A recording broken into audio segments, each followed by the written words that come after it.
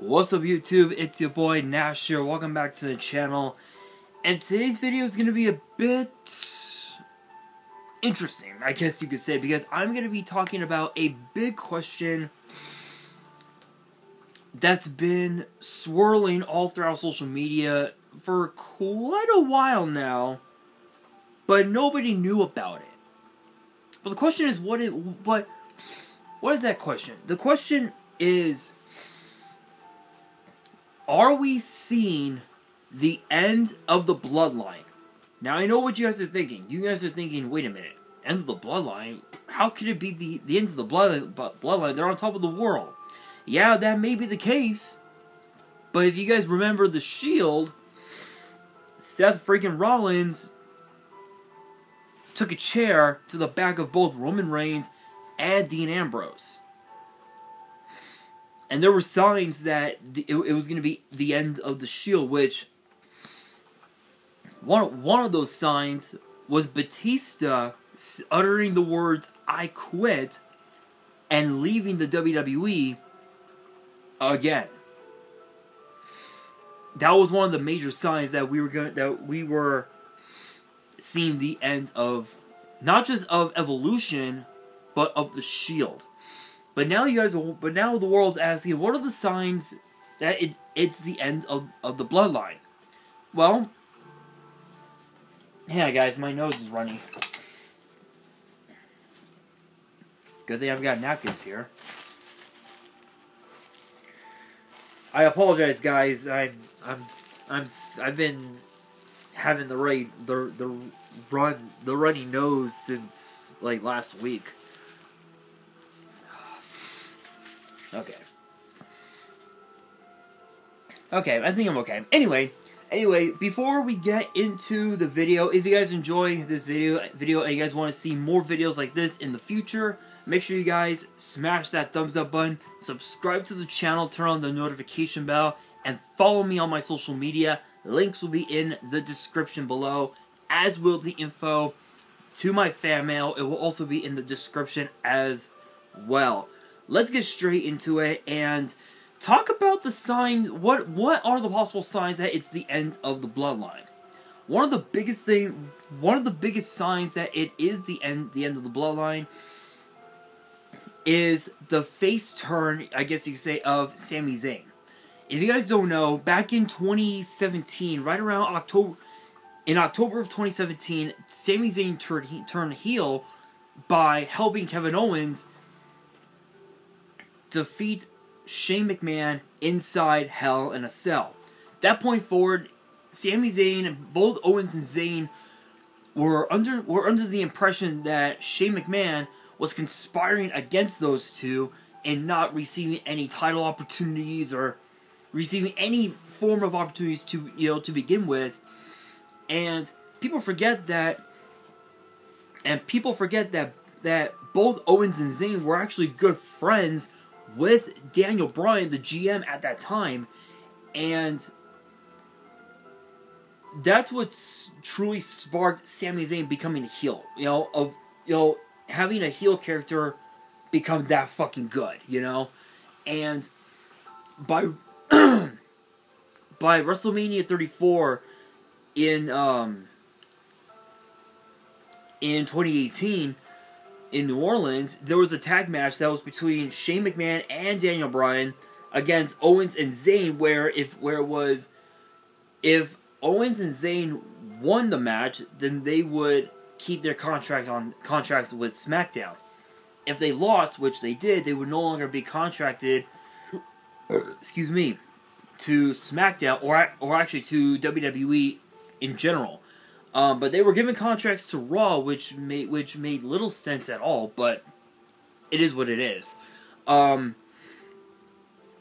but over time, you know, over time, Kevin, you know, Kevin Owens, you know, he he, he got injured. he was taken out of action for for quite a while, and and when he when he came back, he essentially became a babyface, and then he turned heel for just a little bit for just a little bit, but ended up becoming a babyface again with, with you know when when he um, had his rivalry with Seth Rollins, and then of course too competing inside of War Games back in 2019. And then of course too, you know, you know, Sami Zayn, you know, he ended up being being being a part of SmackDown, and he ended up becoming Intercontinental Champion by pinning Braun Strowman with the help of obviously Cesaro and of course Shinsuke Nakamura. He left he he left WWE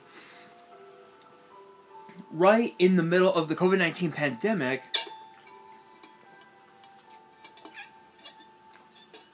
Excuse me.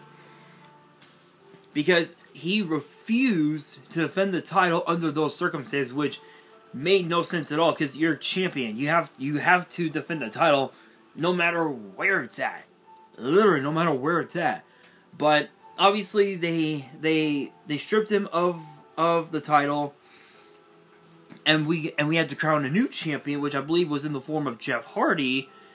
And then of course, the, and, and then of course from there, the rest is pretty much history. He kept he said that he acknowledged Roman Reigns and wanted the help of the Usos in some battle royal that he competed in. And uh, there were signs there, there, there were signs of him slowly becoming a babyface, and one of the biggest signs was his rivalry, I guess you could say, with Jey Uso because he wanted you know, he was trying to make peace within within the bloodline and the moment he said that the things that Jey Uso was doing wasn't very Usy, that was when I knew, I knew, even I knew that he was slowly starting to be, slowly starting to become a babyface, and even during during uh, war games as well. That was one of the big signs that he be you know started to become a babyface was hitting was stabbing Owens in the back by hitting him with that low blow, but but the thing is is that with Sami Zayn as a babyface, it's like why would a babyface join a heel faction? Where have we seen that one before? We saw that with John Cena back in 2010 when he joined up with the Nexus by force. So, so one of the biggest signs, again, again, that it's the end of the bloodline is obviously, obviously the face turn of, of Sami Zayn, and also, and also too, there have been, there's been a lot of, there have been a lot of rumors, uh, swirling that apparently Sami Zayn wants to challenge Roman for the undis- for the undisputed Universal title, which is a possibility we could we could get that match again, but let's be honest, I don't see that happening anytime soon. That's just me. Another sign that it could potentially be the end of the bloodline is is Solo Sikoa. Now I know what you guys are thinking. You guys are thinking, wait a minute, Solo Sikoa, he just joined the bloodline and helped Roman retain the title in Cardiff. Yes, he did do that. But but if you guys notice, but if you guys notice, the first like several weeks of Solo being a full a full fledged member of the Bloodline, he he threw up the one. But if you guys notice, in in the last few weeks, he hasn't done that. What does that mean? Well, there. Well, obviously, you guys know. You guys know of the rumors that there's going to be a match between Roman Reigns and The Rock. There's been rumors swirling that we're that we could see that. One of the biggest signs is Solo Sikoa could potentially be working for The Rock, which is a possibility because obviously, because obviously, you know, The Rock is is is is is Samoan descent. You know, as is his daughter Ava Raine. They're both Samoan descent, and Ava Raine is the first fourth generation talent to get signed with WWE, which is which is awesome. So if so, if Solo Sikoa doesn't throw up the one, what does that mean? It means that he could he could potentially.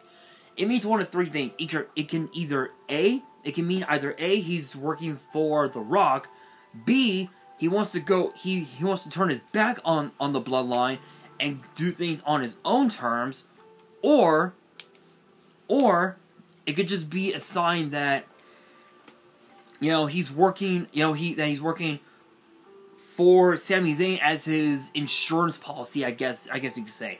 which is another possibility that we that might happen, but only time will tell. Another possible sign, an, an, another sign, is actually the end of War Games. But you guys are wondering. But you guys are wondering, wait a minute, end of War Games? What are you, what are you talking about? What in the fuck are you talking about? Well, if you guys noticed, if you guys watched Survivor Series War Games like I did, then you will know that they that the bloodline was you know, you know stood tall hand in hand, side by side, and both Roman Reigns and Jey Uso were looking dir- directly at Sami Zayn. But why though? Why? The answer is simple. Yes, it is true that Jey Uso did accept Sami Zayn in within the blood, you know, as a full fledged member of of the bloodline, or as Roman Reigns said it, a full blown Uso. Jey Uso still has still has his doubts. And if you guys watched, watched, I think it was what Monday Night, what Raw this past Monday, then you'll know that that Jey Uso had that concerned look on his face. So it means that he still has doubts that you know, he still has doubts of Sami Zayn's loyalty to to the bloodline. So it means that Sami Zayn still has a lot to prove to to Jey Uso. And another big issue with that's that I believe is within within was is within the bloodline is none other than Paul Heyman. And I know what you guys are thinking. You're thinking, wait a minute, Heyman. Excuse me, Heyman's been with Roman Reigns since he came back to WWE. Why the hell? Why the hell would there be problems with Heyman? The answer is simple. Two words: Brock Lesnar.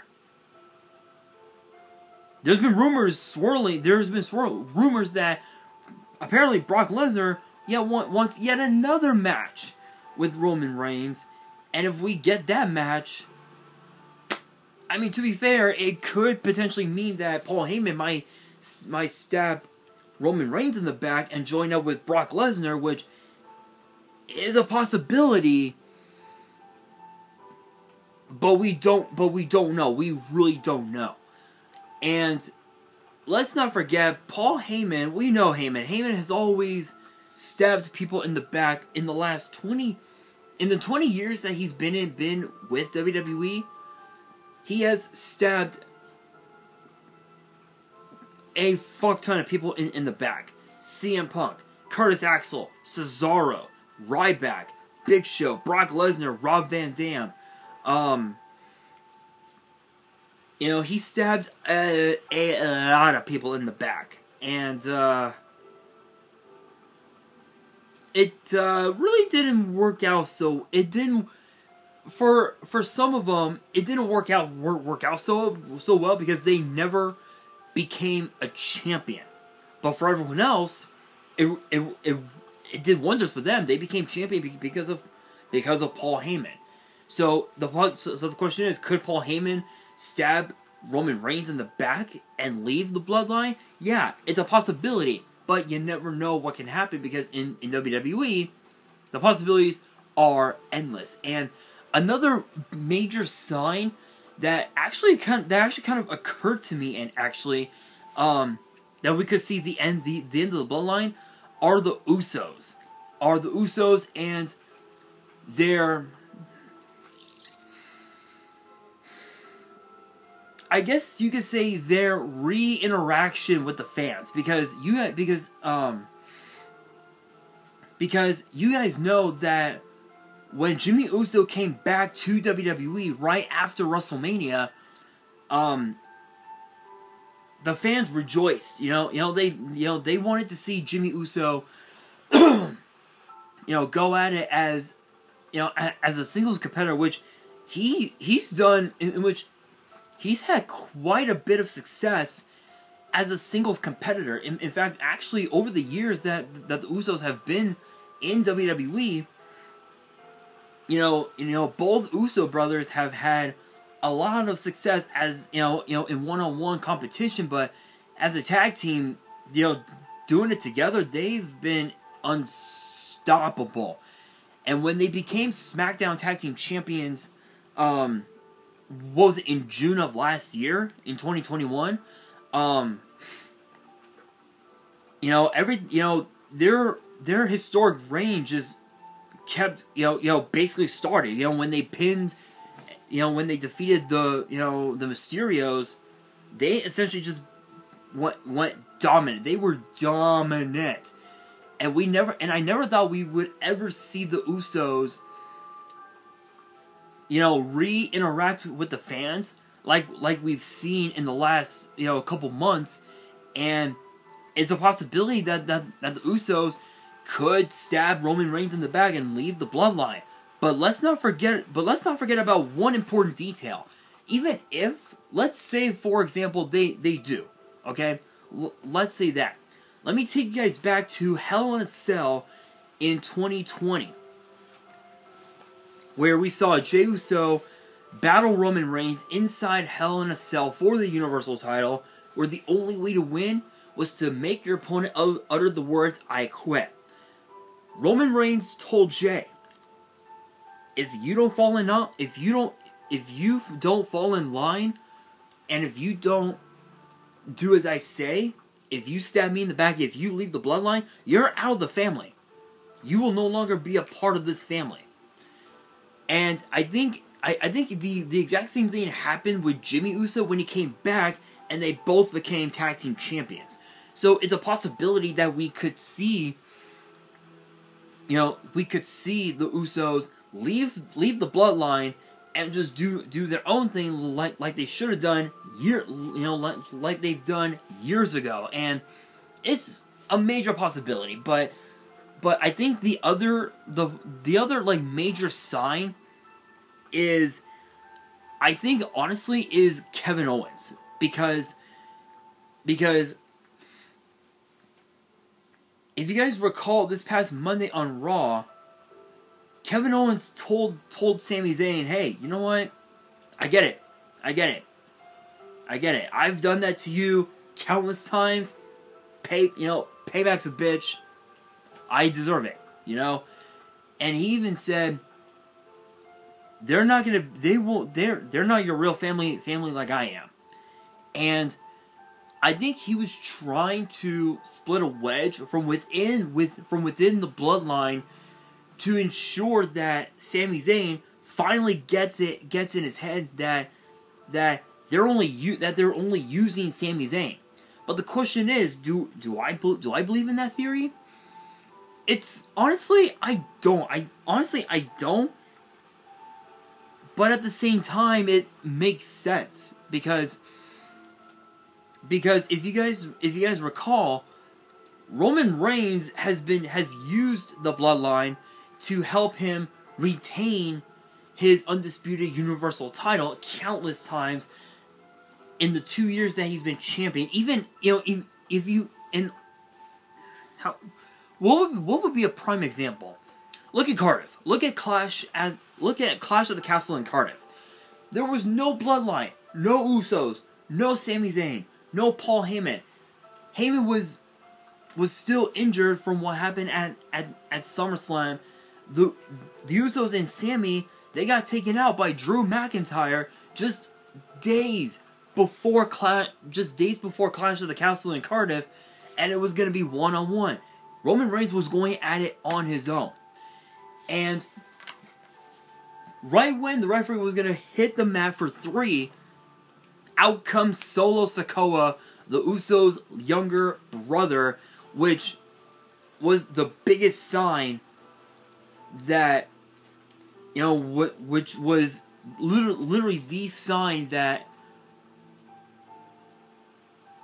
we needed that, you know, to, you know, get, get an idea of what, um,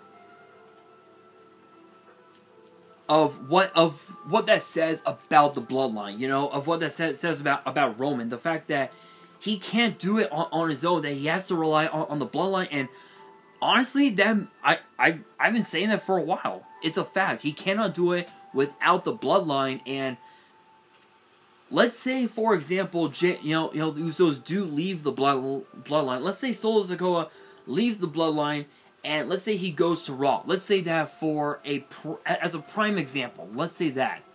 Odds are the only person that would that, that would have have his back would be Sami Zayn. But if Sami Zayn were to leave the bloodline because of Kevin Owens, all Roman Reigns would have would be the the, the only person Roman, that Roman would have is Heyman. But Paul Heyman could also could also stab Roman Reigns in the back. So those are just some of, of the signs that we that it could potentially be the end of, of the bloodline. But an, another thing as well that that actually dawned on me.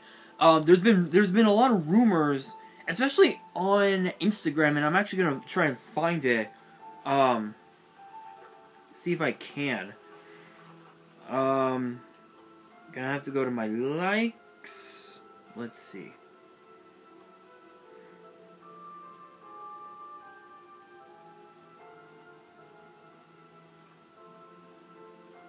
Let's see.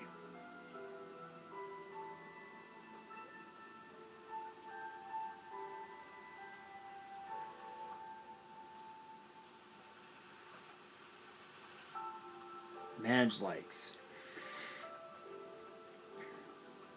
So if I can if, if I can find it, I might be able to show it off. But I don't think I can find it. Cause there've been there have been rumors uh, swirling on on social media that we're gonna get a brand new set of tag team titles uh, for the Usos, but I don't think I can find it on my in my likes.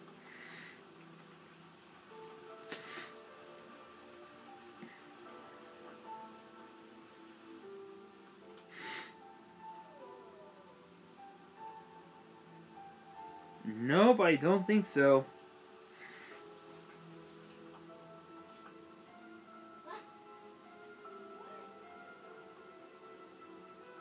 Nope, maybe in my saved archive? I don't know. I don't know. I don't know. There's been a lot of rumors. I yeah, I can't find. I don't think I can find it any. Nope.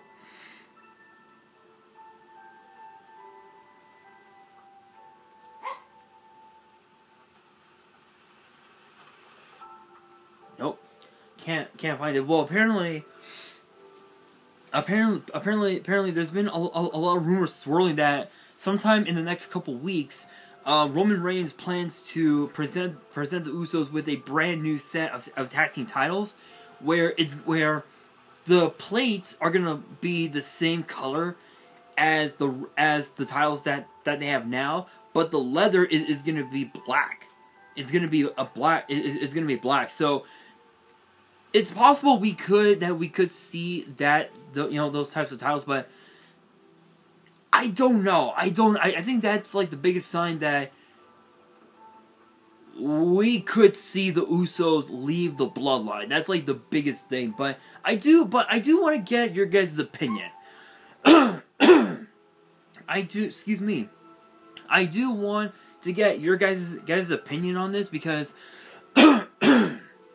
because with all with with with all these things, things that I that I, that I brought brought up to you guys that brings me to to the question of the day: Could we could we see the bloodline finally split after all all this time? Let me know down in, in the comments below. I'm very curious of, of, of what you guys have to say. But that will do it for today's video. Hopefully you guys enjoyed. If you did, make sure you guys smash that thumbs up button. If you guys are new to the channel, and you guys want more videos like this in the future, make sure you guys subscribe to the channel, turn on the notification bell, and follow me on my social media. The links will be in the description below, as will the info to my fan mail. It will also be in the description as well. And on that, this is your boy Nash, signing out.